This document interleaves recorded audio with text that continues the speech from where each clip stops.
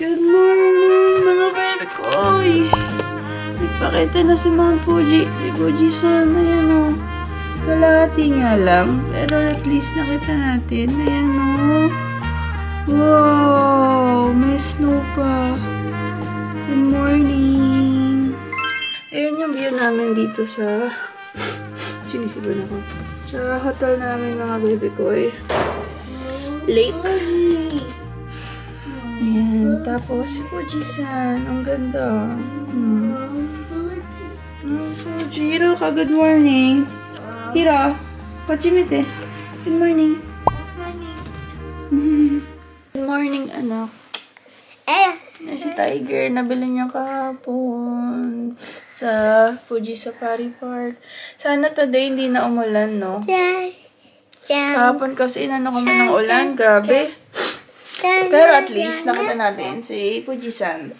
Breakfast muna tayo mga kamikoy. Ito ang breakfast natin. Iji, yukirarero. Sunny-sunny na egg. At soup. Miso sa salmon. Fruits. Rice. And mga side dish. At salad. Ito like mas. Kain muna tayo mga baby kayo ng breakfast. Yeah, mga baby ko! So, check out na tayo. Ngayon naman, pupunta tayo sa Mount Fuji. At maganda yung panahon ngayon, maaraw-araw. Kaysa kahapon, binagyo tayo sa zoo. So, ngayon sana, umaraw lang. So, mamaya, update ko kayo. Sama ko kayo sa Mount Fuji!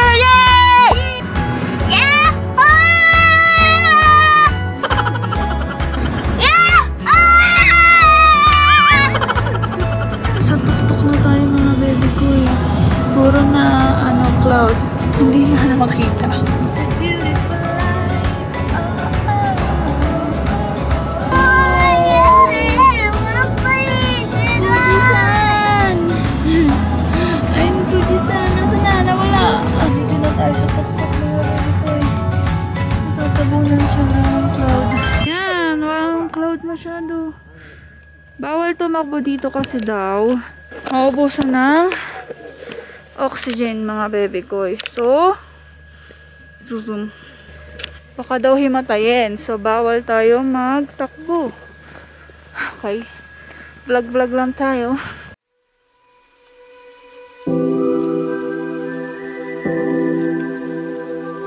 Ano dito mga baby ko? Iyan lang pala yung view na yan.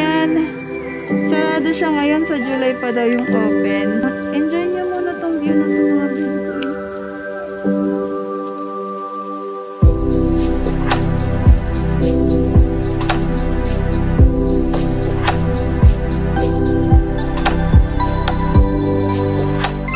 mga baby baby ko yung Gara, oh. Nagbebenta sila ng The Clean Air at Mount Fuji. Walang laman. Air yung nasa loob niya. 400 yen. Pa, pa, pamain na lang po. Pamain. Comment down below. Ang ganda ng umbrella mga baby ko. Ang cute. Ang gara. Kala mo baliktad eh. Ah, ganda ah.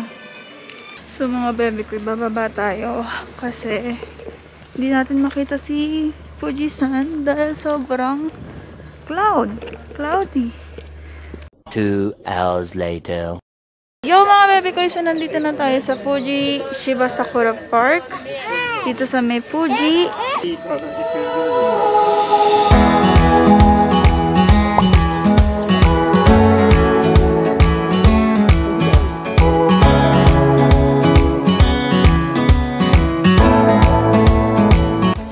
Hokkaido, mas malaki mga baby ko. Medyo gloomy today. Hindi natin makakita si Fuji San. Sayang. Ah. Saka di pa siguro full bloom. Konti pa lang. ああ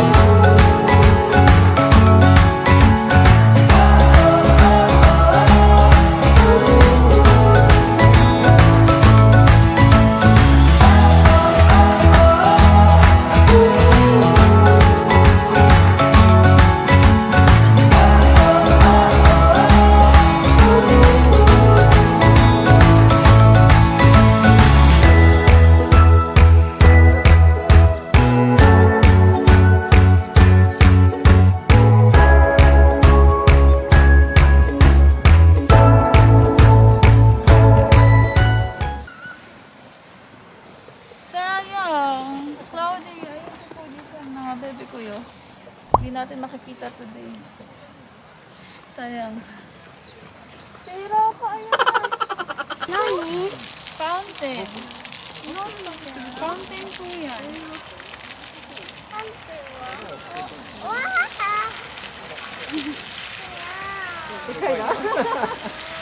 So mga bebe ko, tapos na tayo dito sa Fuji Shiba Sakura Park. So ngayon pupunta na tayo ng Gotemba sa pinakamalaking outlet dito sa Japan. So, kakain na rin tayong lunch. Gugutom na rin kami. So later ulit mga bebe ko. Sa mga bebe ko, nandito na tayo sa Godemba Premium Outlet. At tinintay lang natin si Tomo. Hi. Di pa kami nagla-lunch. So, hanap tayo ng kakainan dito. Tapos magtingin-tingin tayo kung ano mabibili natin dito. Mag-shopping tayo ng Louis Vuitton, ng. Dior, ng I'm ano. hungry. Feeling mayaman, char lang. Wala tayong pambili. So, I'm hungry. you're hungry? Opo. Meanwhile, Kain mo tayo lunch mga bebe ko. Sushi na lang kakainin natin. Kasi ang haba ng... Ang haba ng pila sa Hamburg. Yung sikat dito. So, sushi. Hero favorite. Yay! Gets kita. Ikara. Oh! Ay, nalaglag. Yummy! Yo! Haggardness na natin mga bebe ko. So, tapos na tayong kumain. Si Hiroka nakakita ng merry-go-round at magme-merry-go-round daw sila. Yun na si Hiroka.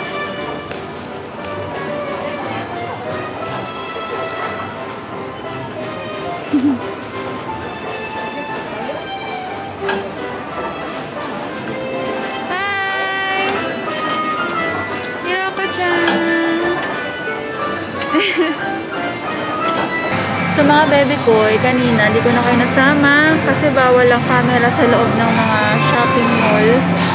So, di ako nakapag-vlog. So, nandito tayo ngayon sa Shake Shack. Mag-take out lang tayo ng hamburger, tapos uuwi na tayo. So, kanina, nakabili lang ako ng belt bag sa Coach. Napakita ko na lang sa inyo sa bahay pag uwi natin. So, ngayon, first time ko kasi matatry itong Shake Shack, kaya mag-take out kami. Tomorrow. Bulaga! sa mga bebe ko, pasensya na, hindi na ako nakapag-vlog, vlog, vlog kagabi nung dumating kami kasi I'm so pagod. Pasensya nyo na yung aming bahay at medyo magulo. Naglilinis po ang inyong inday. So, ayun nga, di ba sabi ko, pagdating ko sa bahay, din ko na lang papakita yung nabili ko doon sa Godemba Premium Outlet. So, ito lang naman yung nabili ko mga baby ko. Itong Coach na bag saka sa sa Hollister. Hollister, tama ba yung pronunciation ko? Anyway, ito naman sa Hollister. Shorts lang naman yung nabili ko. Dalawang shorts. Ayan. White and black, mga baby ko. Ayan. Pamain na lang po, pamain.